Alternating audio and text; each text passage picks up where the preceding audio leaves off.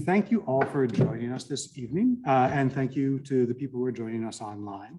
Uh, my name is Gavin Kleespies, and I'm the Director of Programs, Exhibitions, and Community Partnerships at the Massachusetts Historical Society. Uh, our program this evening will be the history of Boston's Harbor Islands.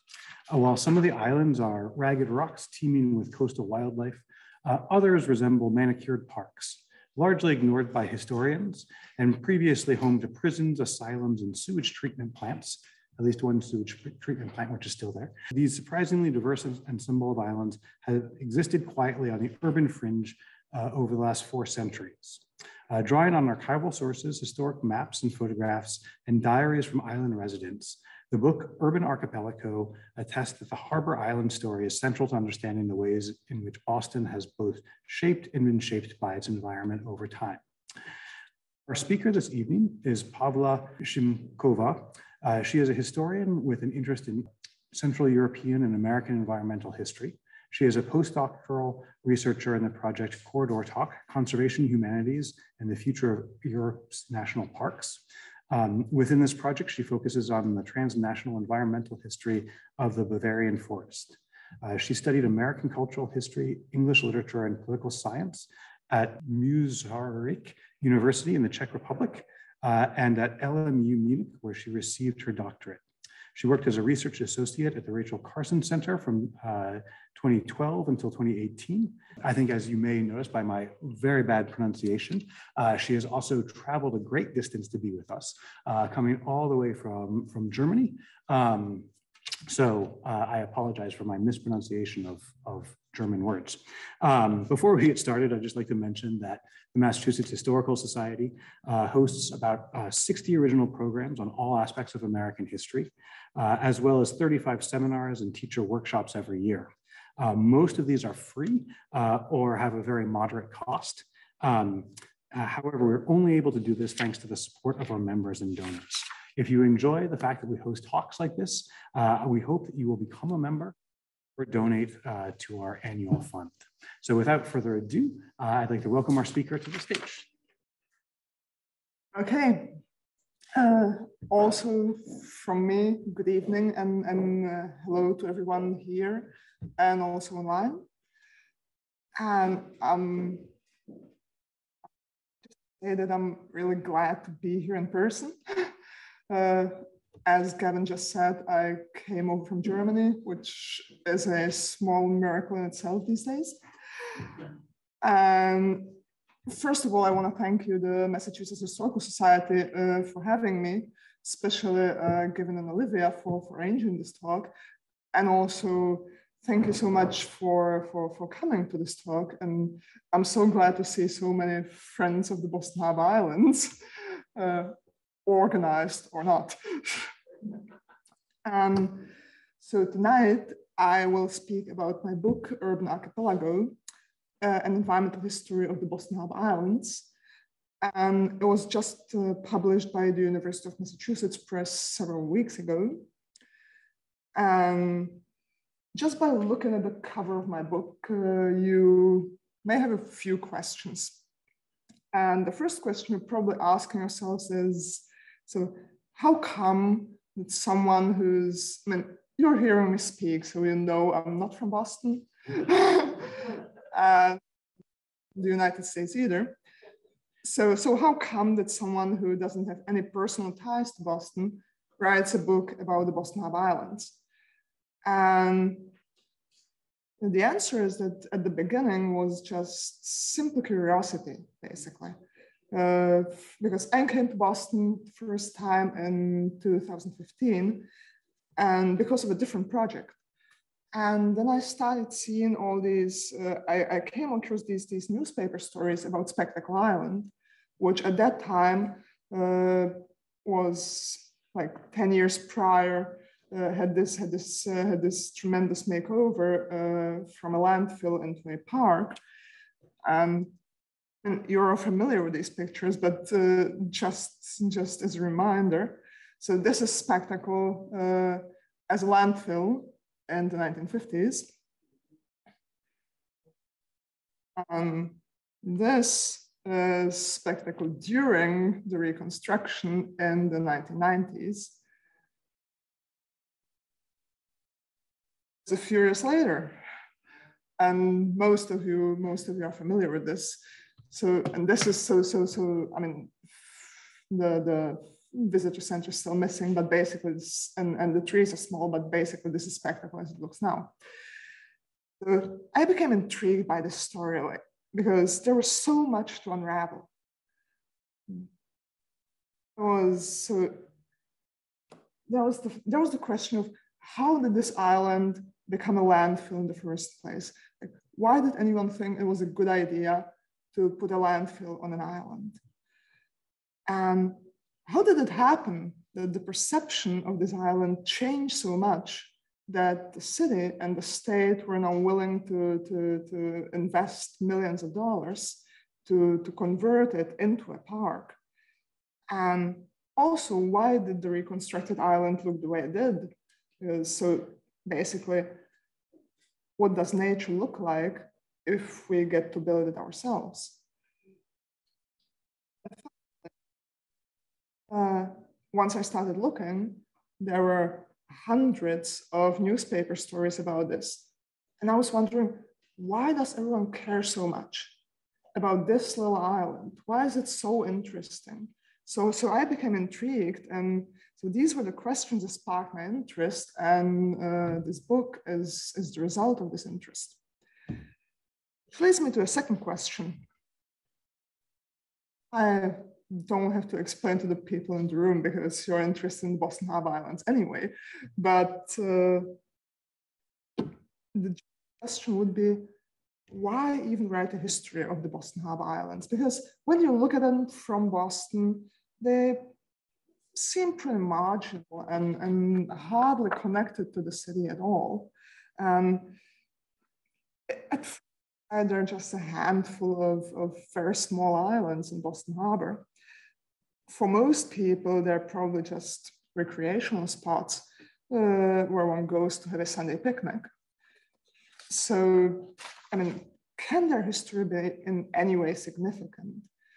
can these places tell us anything that we didn't know before?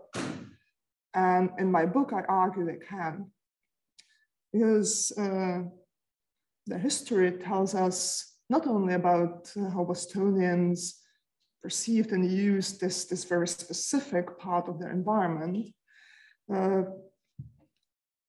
they tell us a lot about Boston itself.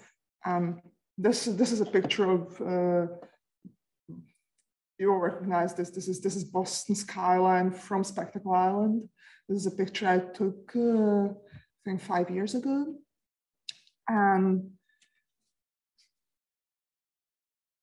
uh, shows what what I what I'm getting at. Because if you look at the center, which in this case is the city, from the periphery, then you can may, you may notice things that you wouldn't notice otherwise.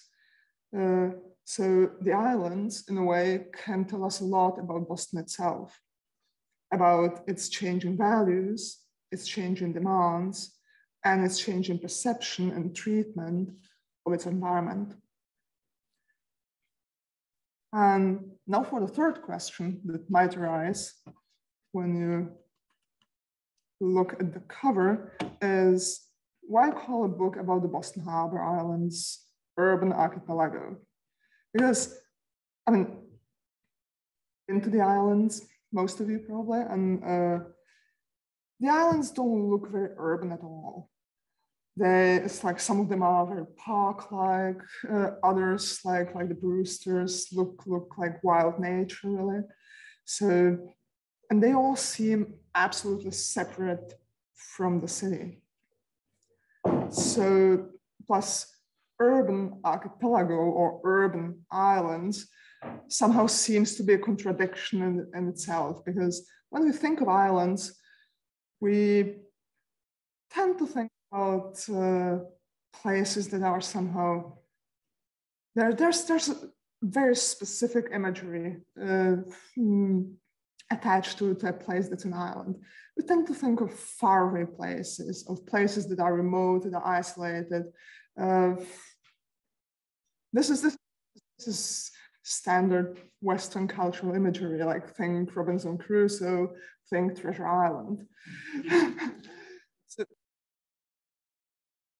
not the friends of the Boston Harbor Islands, but this is what most people associate with an island. Uh, so the traditional image of an island is not as part of a city.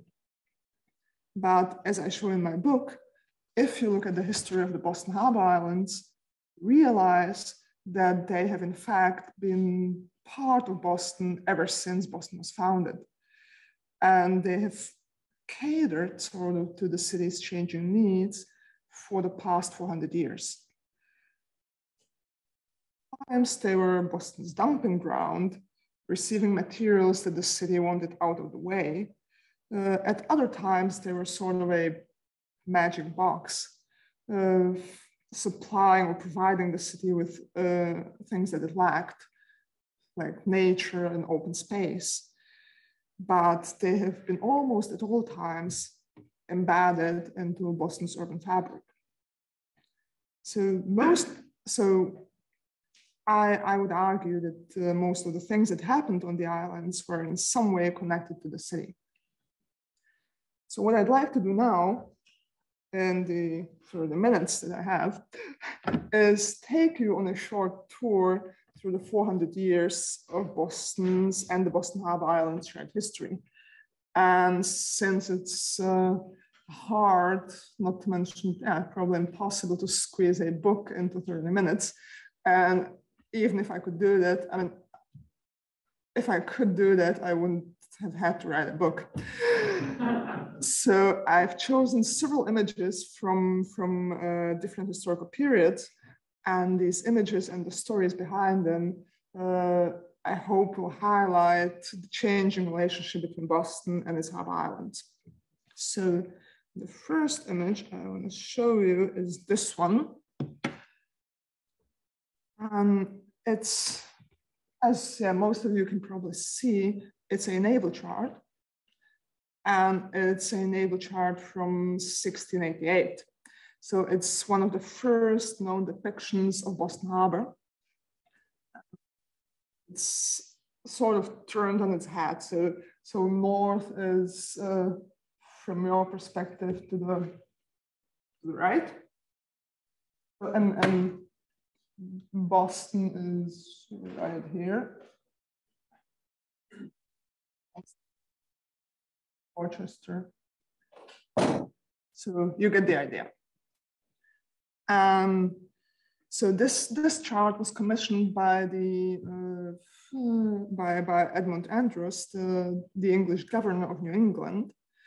Uh, and you'll notice how strange this chart looks to our contemporary eyes is this red line here. That's the coast, obviously. And you'll notice how empty the mainland is because the person who drew the map and the people who commissioned the map just didn't care what's on the mainland because it wasn't interesting. And there was a reason for that. Uh, and like the mainland's empty, but on the other hand, you can see how detailed the depiction, like the representation of the harbor is. So there's everything. There's there's the channels, uh, there's the depth of the channels, uh, and there's all sorts of navigational hazards mm, described on this map. So shoals and submerged rocks and everything. Uh, um, this that the colonial administration had uh, and the English settlers of the 17th century had of Boston's environment. Because the mainland at this point wasn't really interesting to them. The mainland uh, had no roads, you couldn't travel on it, it was marshy, it was, it was hard, even impossible to penetrate. And on the other hand, it was water that provided access not only, not only contact among the colonies themselves, but also between the colonies in England. So in this early period, waterways acted as roads and they made movement of goods and people possible. They were a connection rather than a separation or an interval between places. And so in a way, Boston Harbor at this point was a was a was a was a highway leading to Boston, and the Boston Harbor Islands were sort of signposts and windbreaks along that highway. So mainly the, the 17th century was the only time in Boston's history when the Boston Harbor Islands were not, not only used as an integral part of town, but were also seen as such by Bostonians. As you all know, Boston was founded in 1630, and already a year later, in 1631, uh, the Court of Assistants, the colony's governing body, uh, issued an order that made the Harbor Islands a common property of the people uh, of Boston. And given how water provided access, the islands were among the most accessible parts um, and they were used for their resources. So Bostonians would fetch uh, timber and building stone from these islands, and they would use them as, as pasture land, as is evidenced by their names.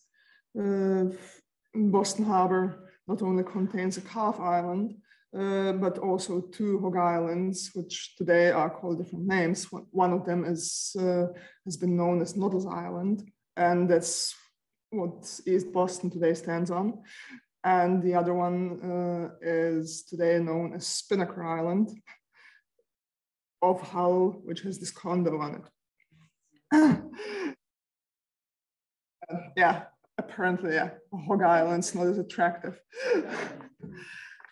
And so, so uh, these uses, of course, also had an effect on the island's environment. Uh, the wood and gravel harvesting uh, left these islands exposed to erosion and reduced several of them to probably not much more than shoals. And a case in point here is Nix's Mate. You all know, I mean, this, this, is the, this is the beacon and today it's only visible at low tide but in the 1630s, it was reportedly an island of 12 acres. So Nix's Mate uh, pay the price for, for Boston's uh, hunger for, for, for building stone gravel. But this intensive use can also be read as evidence uh, that Boston started out as really an island town, as, as, as I hope both especially this chart really shows.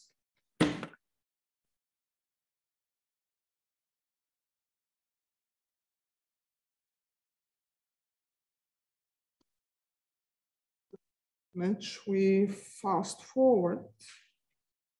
Um, the image is from the early 20th century, but the phenomenon it relates to goes back to the 19th century. And Kate Rivera, who I'm glad to, to, to, see here, will, will, will, will recognize this because this, uh, this is the garbage reduction plant on Spectacle Island. Uh, so this plant operated uh, on Spectacle from 1903 until 1935 and received garbage from Boston. The garbage was transported on, on, on scows, so little boats, to the island, and the factory extracted grease from the garbage by heating and would deposit the dry residue on the island. But the garbage reduction plan was not the first waste business that, uh, that uh, made its way to Spectacle Island. The first one was since the 1850s, and some of you may know this, the, the, the Ward Company, that uh, basically recycled dead horses and cows. And all these waste businesses were a symptom of the way that uh, the city was using the, its harbor islands at the time, uh, basically since the mid 19th century. And that was as a dumping ground for materials that the city didn't want uh, within its limits that it wanted to push out of the way. This uh, is another image of the garbage plant. Uh, so, so yeah, this is spectacle looking north. Um, so, so just, just that you have an idea how, how, how big this factory actually was.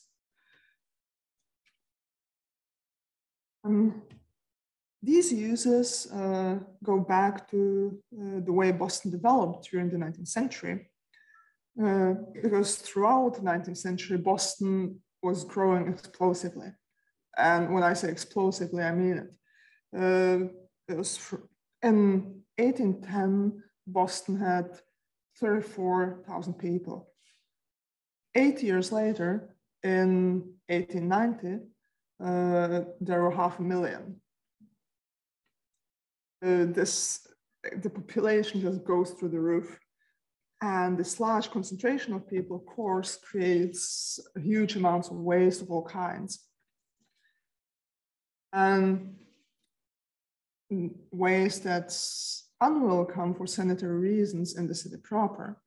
So it's uh, so Boston looks for ways how to get rid of this, and one way uh, that they find is to push it out on the harbor islands.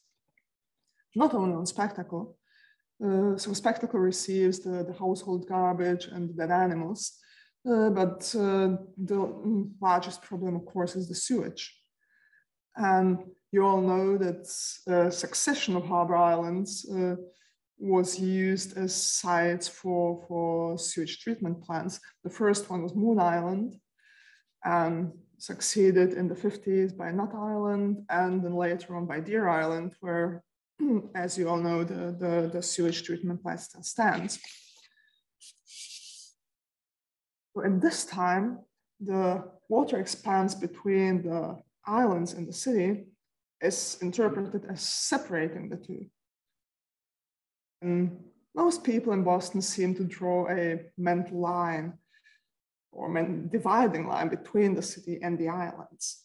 So the city is supposed to become a clean, healthy, sanitary environment, and the islands are the place that receives all that's supposedly dirty, unwanted, undesirable, hmm, unhealthy, and they're not really counted as part of the city. So they become Boston's, well, the ultimate urban fringe.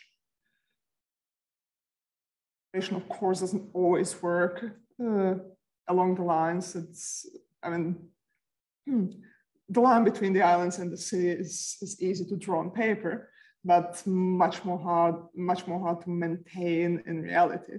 So Spectacle Island is a case in point here because uh, although the garbage plant is located in Spectacle, uh, the, and so it's theoretically separate from the city, it's still very much present in the surrounding communities because it creates a horrible stench that traverses the water and basically comes back to, to, to bite the people who created the garbage in the first place. uh, I, I can't get it into that now, but um, so while these unsavory uses push the islands mentally away from the city, uh, at the same time, they draw the islands ever deeper into Boston's urban infrastructure and into the functioning of the city, into its metabolism of the city as a body. Uh, islands are not perceived as such, they're really attached more closely than ever at this time uh, because they're really accessible to the city's functioning because they receive things that are undesirable but necessary for the city to function. And they're also physically attached to the, to the city's body. Uh, some of them by more subtle means, such as power lines or water supply, others by, by, by causeways, bridges, or fill. So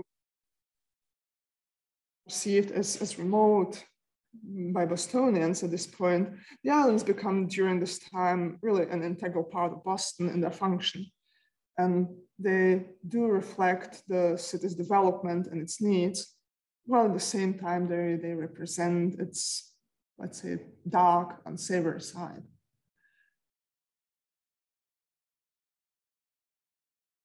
Islands as dumping grounds continues until mid 20th century. But after that, some of these uses are abandoned and a new way of thinking about the harbor islands takes over. And this next image uh, that and we move forward into the 1960s and the structure you see was called Water Plaza and it was the centerpiece of the design for an international exposition in Boston or Expo that was planned for 1976. The Expo pavilions would have been built uh, at Columbia Point at, and Thompson Island and on floating platforms in between. And the design included both the pavilions for the exposition and a so-called community of the future or new community. And it was a plan that was supposed to solve um, or tackle problems that Boston shared with other cities all over the world, uh, such as urban sprawl, traffic congestion, uh, race segregation, social inequality. And the idea was to build a new community in the harbor for 50,000 people. And as I said, it would, been, it would have been built on floating platforms uh, over the harbor, and it would have been in a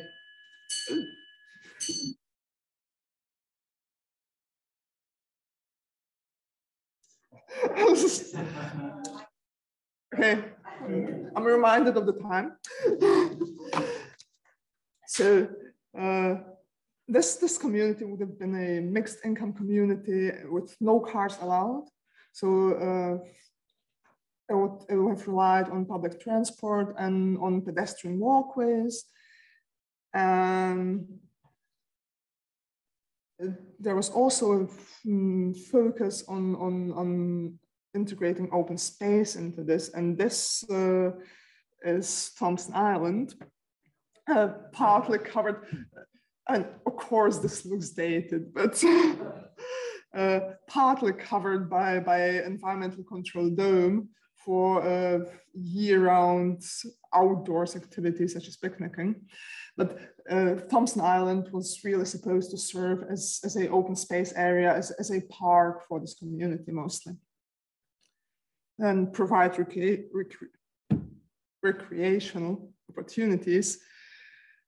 And as you all know, uh, the expo was never built, but uh, the plans for it were a sign of a really radical rethinking of the Boston Harbor Islands and the role they played for the city.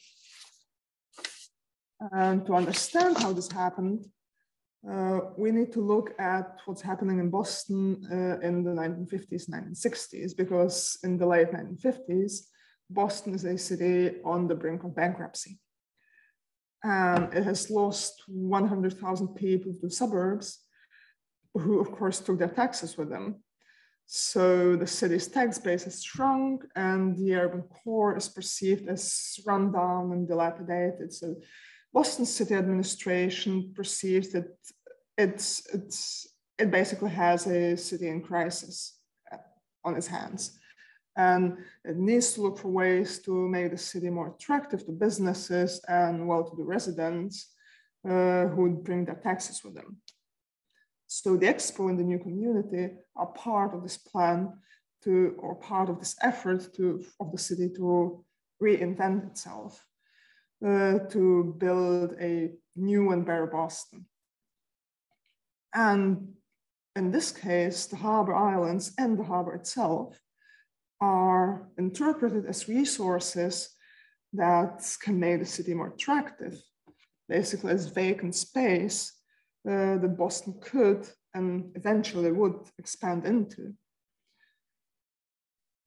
Is that would allow the city to renew itself. And there are many plans. This, this, this is just one of the plans how to do that. Uh, there are plans to build residential communities on, on several of the islands. There are plans to build a second airport at the Brewsters, which probably wasn't the best idea.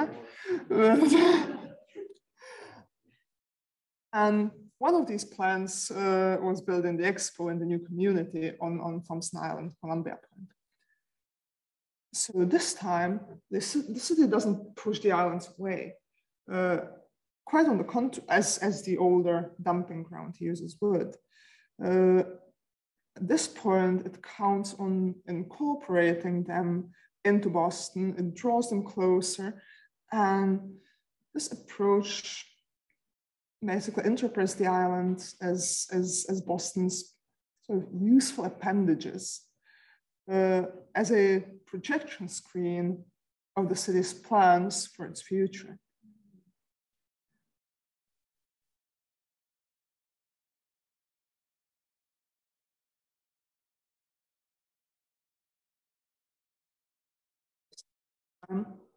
When initiatives like the Expo um, try to attach Boston Harbor Islands firmly to Boston, people who saw the islands in a different light, as places apart and as places in their own right. And the most influential of them was this gentleman, Edward Rowe Snow, and who most of you might be familiar with. Uh, he's the author of popular books about the Atlantic coast in general and about the Boston Harbor in particular. And here he's pictured leading a boat trip uh, uh, in, in Boston Harbor sometime in the 1960s, judging from the outfits. And, and this, this is obviously staged. Let's just look at the map, because his audience can't even see this man because he's just holding it turned to the photographer. But nevertheless, he did lead boat trips like this every Sunday morning during the 60s and 70s. And so just a bit about him. Here he is on, on a poster for one of his lectures. Edward Rowe Snow was born in 1902 in Winthrop.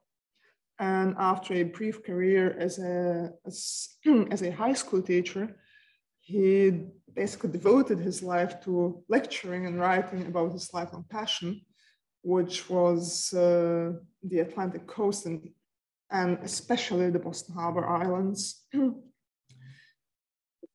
Lectures, hosted a radio show, uh, had newspaper columns in the Patriot Ledger and in the Boston Herald. Uh, and above all, during his life, he published nearly 100 books uh, on the subject of the New England coast. As I mentioned, his special, and as you most know, his special focus was on Boston Harbor. And his book, uh, The Islands of Boston Harbor, was first published in 1935 and came out uh, in two subsequent editions. Uh, the last one is from 2002. So for generations of, of, of readers and listeners, he became the most authoritative voice on the subject. And the stories he told about the islands cast them in a very different light from what we've heard so far. For him, these islands were places of mystery and romance.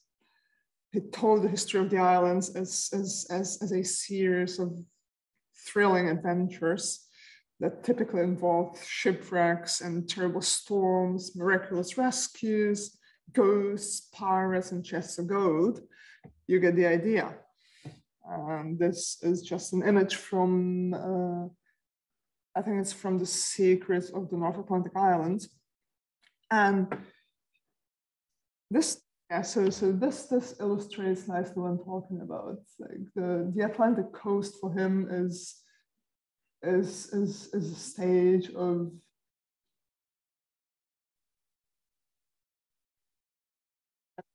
and ghosts and, and gold and jewels and so so it's all very exciting not necessarily true but but this so this, so this shows the, the, the Atlantic coast as, as, as such but uh, uh, he did the same thing for the Boston Harbor Islands, of course. And there was there was a dramatic adventure story to each island in his narrative. So uh, the eroded island of Nix's Mate, we've talked about before, was the setting of a pirate story. Lovell's Island for him was a treasure island where gold pieces from an old shipwreck were found.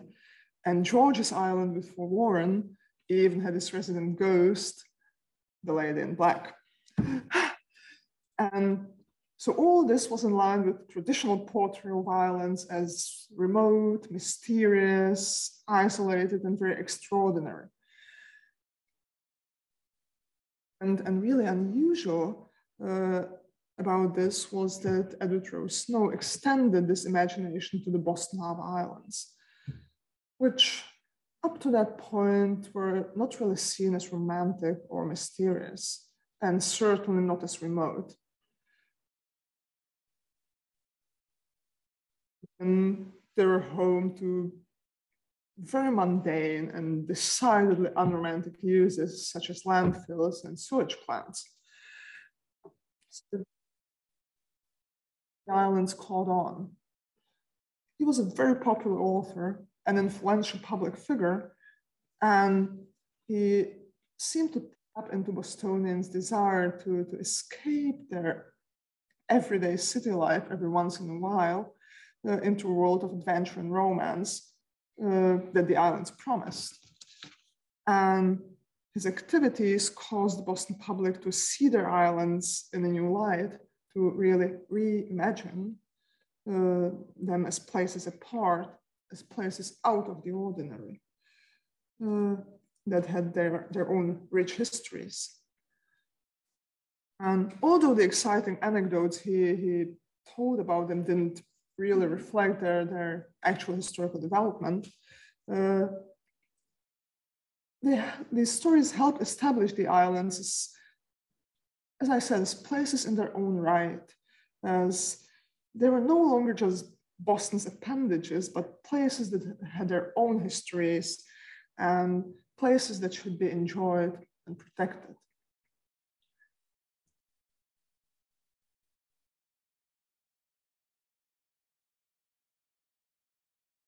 Uh, this is, however, only one part of the story of how the Boston Harbor Islands uh, got to look and be perceived the way they are now, just as a valuable natural and cultural heritage.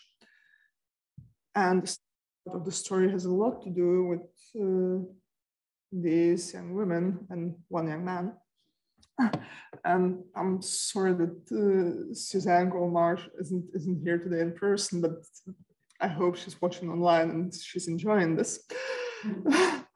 uh, yes, those of you who know her recognize her probably. That's that's her. And the picture dates from uh, 1979 and was taken on Gallops Island.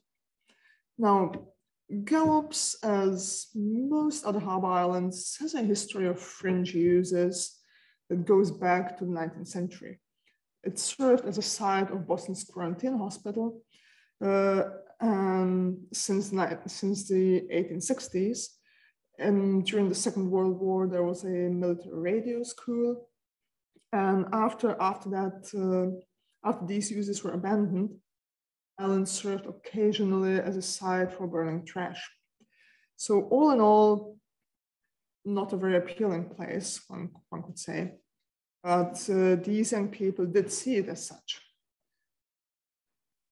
Um, so the 1970s, of course, are the so-called environmental decade, a time of growing environmental aware awareness or, or growing environmental concern, I should say, and of the first encompassing environmental legislation, uh, a time when, for instance, the EPA was founded. So, so these young people were the first generation who saw the Boston Harbor Islands uh, as an endangered ecosystem and as a natural resource that should be valued and protected. And this picture is significant for two reasons. First, the people in it embody the first government initiative to protect the Boston Harbor Islands uh, and to turn them into a recreational area for Boston. So as you might know, in 1970, uh, several of the Boston Harbor Islands were declared a state park. And these people are, as the says, these people are managers. So employed by the State Department of Environmental Management uh, to act as park rangers on these islands. So in, in the in the usual manner of, of park rangers. So to greet visitors, to introduce them to the island's uh, nature and history, and to clean up after them. So this is both grew out of and contributed to a change in the public image of, of, the, of the Boston Harbor Islands. So from, from abandoned places and former dumping grounds, they, they've suddenly turned into places where you would go for leisure and for a break from the city. And second, secondly, what's, what's, what's significant what's important about this picture is that most of these people are involved with uh, nonprofits that are focusing on the harbor. Uh, I mean, most, most, most, most, most of the people in the picture were in some way or another involved with the Friends of the Boston Harbor Islands. Um, hmm, active in, in promoting an image of the Boston Harbor Islands as places where nature and history met, and that would be best used for recreation and environmental education. So, of them were familiar with the stories uh, that Edward Rowe Snow told about the islands. And went on to be, to be instrumental in the process of establishing the national park or the national recreation area uh, in Boston Harbor that um, came to be in, in 96. Also the way we see the islands today as places with both natural and cultural heritage and as open space for Boston. Just these are just images I pulled from uh, the national parks Facebook, and so so you can see that it's really a combination of both. It has the lighthouse, it has the Fort Warren on George's Island, but it also has the nature walks and and the wildlife that uh, you can encounter when you go out on the water.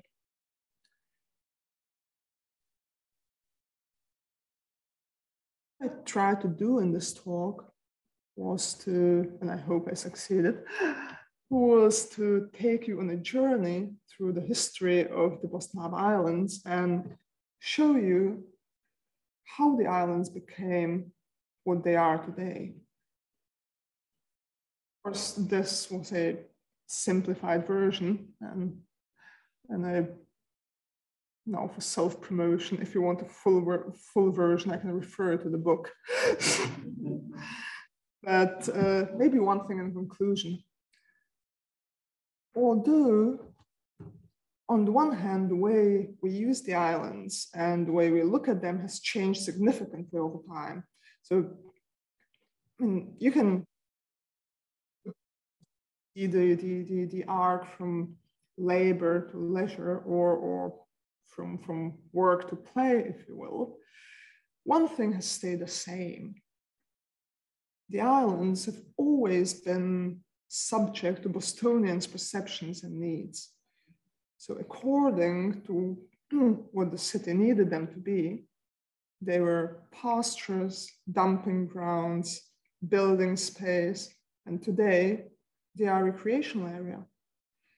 So, over there, shared history with Boston, they have been and they remain an urban archipelago. Thank you.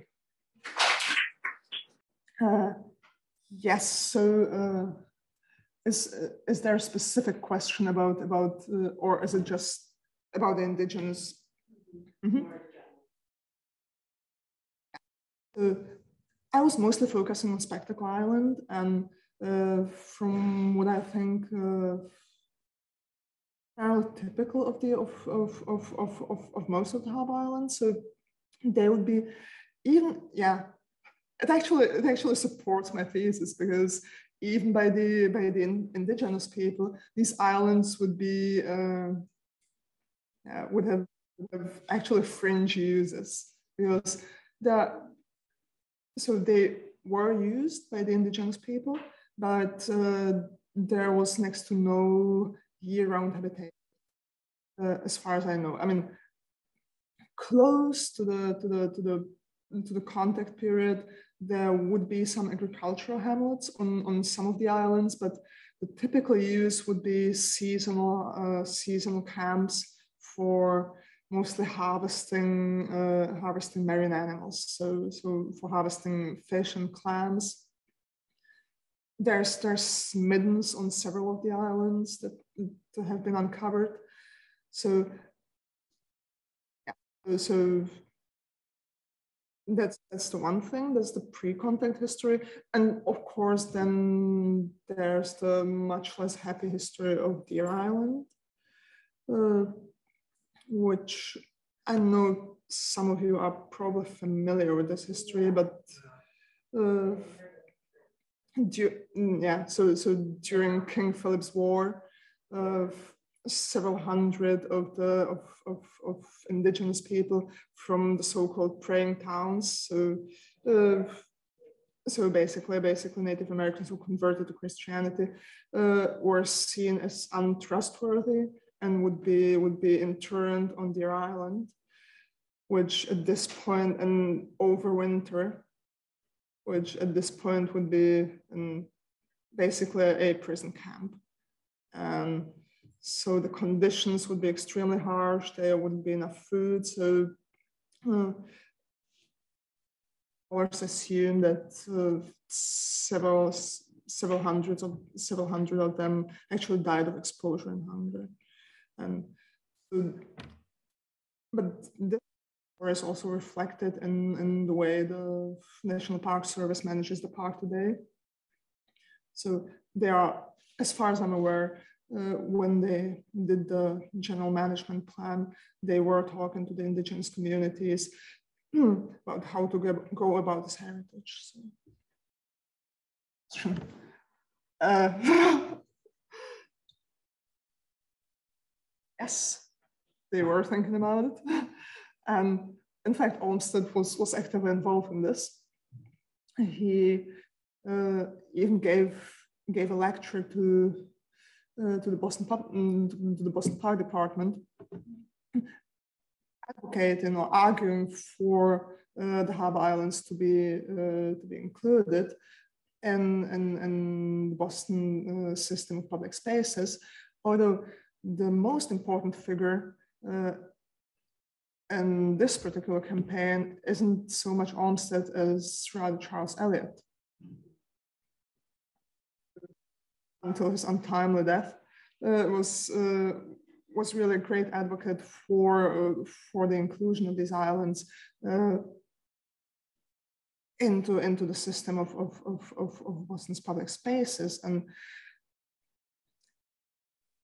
I seem to remember a quote from from him that says that Boston has the good quoting probably, but that Boston has the good fortune to be lo located between two great wildernesses, and one of them is the Boston Harbor.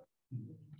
And that Bostonians would be stupid indeed not to make use of this and not to preserve this great open space for future generations and not to use it as open space. Hmm. Fortunately, he was, was unsuccessful at the time uh, in designating this as, as a public park. But uh, when the national park uh, was established in 1996, uh, actually, there, there was a lot of, yeah, so in the, in, yeah, in the feasibility study for the park, uh, if they recalled, like the, yeah, so so Charles Eliot was sort of a patron saint of the park because they they they they they, they try to reflect that they're sort of they're they're sort of yeah continuing his work so to speak that's was this, yeah, so this was the idea of the great landscape architect, which we are now putting, putting into practice and finally this is happening. So, so this, this was the case in the late 19th century and, and it has lived on until the late 20th century. One of the, one of the images that I just showed, uh, so, so the historical maps of Boston Harbor were terrific resources. And so the, so the Boston Public Library, uh, the, the, the Leventhal Map Center uh, is, is really great because as an environmental historian, you don't, you don't just look at uh, written documents, you, you need to imagine what the landscape actually looked like. And these are invaluable sources really for this. Also, the Friends of the Boston Harbor Islands, I was very fortunate to uh, be able to profit from, from um, Suzanne records. And therefore be able to reconstruct not only, not only the um, point of not only the sort of top-down history, so the point of view of, of governmental agencies, but also uh, sort of the, the, the, grassroots level. Uh, so the non-profits, which were incredibly important in Boston Harbor. We should have a few questions. People are asking about the future of the islands um, with climate change and if they're getting the resources uh, and if, if what? And if they're getting the support and resources they need to survive.